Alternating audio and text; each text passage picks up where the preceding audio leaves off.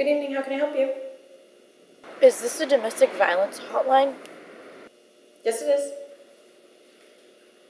Are you in a safe place to talk? I think I am. Okay, well, as long as you're in a safe place to talk, that's fine with me. Alright. Well, I'm not sure how to start. Mm-hmm. So, what made you call today? Well, I've had this number hidden in my phone for a while. A friend gave it to me. She thought I could use it. But I didn't think I'd need it. Until now. Mm-hmm. But then it started to change. Long to get ready.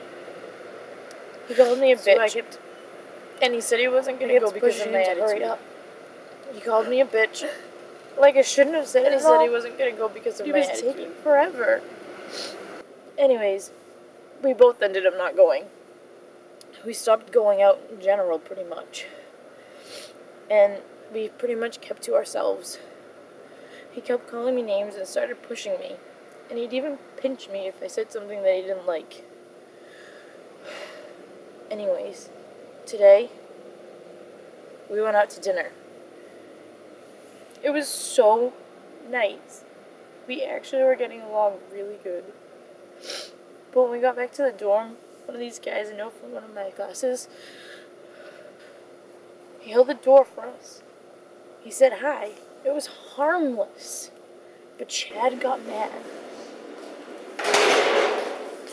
I send in a or four six eight?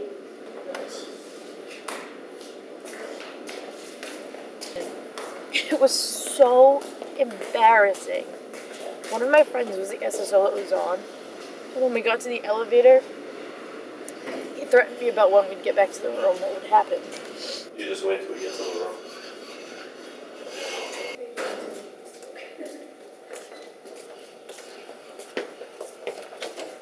We don't, they don't occupy the door anymore? Jesus. Stop. What are you doing? Come on, you embarrassed me outside. Sorry. You better be sorry. You, I mean, you know that pisses me off. I know. I didn't mean to. You did. God! Don't you love me? Yes! Well, then say it. Say I love you. I love you! Right. Oh, Chad, don't!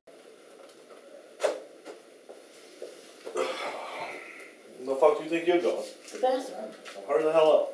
Okay.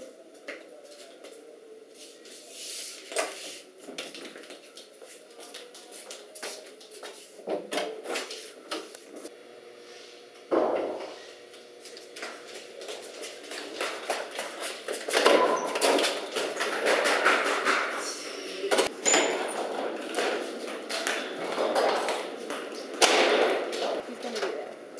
Yeah, he will. Oh, hold on, hold on. Alex, we're going over to Mike's. You wanna come? No thanks, sorry, Kira. I can't. Jeez, she never wants to do anything anymore. Yeah, figures, right? He pushed me on the bed. And he hit me. He's never done that before. He's done little things, but never this. I don't understand why this happened. It's like I trusted him so much. Why would he do this?